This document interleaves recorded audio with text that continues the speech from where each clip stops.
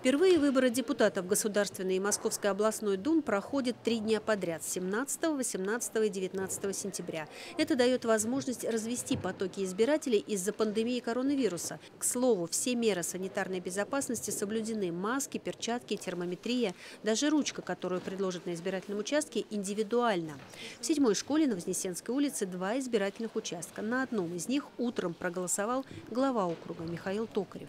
Очень быстро прошло пять лет, да, и не успели глазом моргнуть. Но мне кажется, за это время мы, по крайней мере, наш округ дал очень большой скачок, э, задал такой высокий вектор э, развития. Очень здорово э, научились взаимодействовать с нашими жителями. И я считаю, что наша задача этот вектор обязательно продолжить, ни в коем образом не ослаблять полученные темпы и развиваться, и, и двигаться только вперед. Из 450 депутатов в Государственную Думу 225 избираются по партийным спискам, еще 225 по одномандатным округам.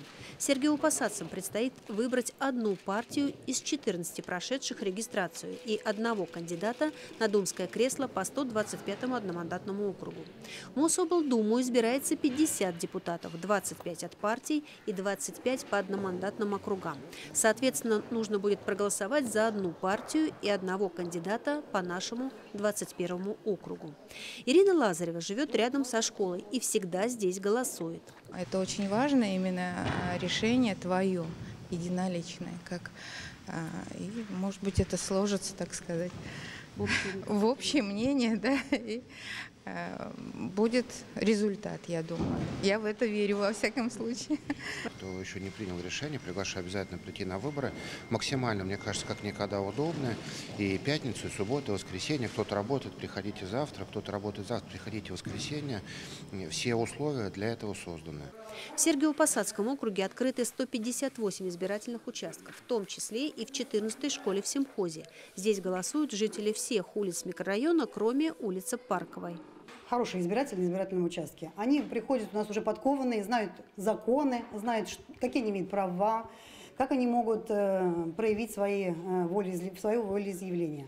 Около 11 часов на избирательном участке в Симхозской школе проголосовал Сергей Пахомов. Мы понимаем, что на ближайшие пять лет мы определяем э, тех людей э, и те, э, те группы людей, те партии, которые будут помогать, поддерживать и развивать в том числе и наш округ, и нашу страну, и нашу Московскую область. Поэтому, конечно, эти выборы важны, но эти важны не только для нас, но и это наш вклад в общее дело развития страны. Надеюсь на лучшую жизнь. Что в это понятие входит? Обеспечение пенсионеров, достойной пенсии.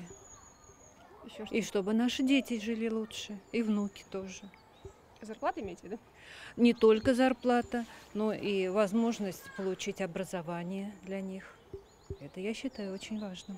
Избирательные участки по выборам депутатов Государственной и Московской областной думы работают 17, 18 и 19 сентября с 8 утра и до 8 вечера. Для голосования необходим паспорт. Ирина Белякова, Жанна Оловянникова, Антон Коврижных, Илья Халяпин. Программа «События».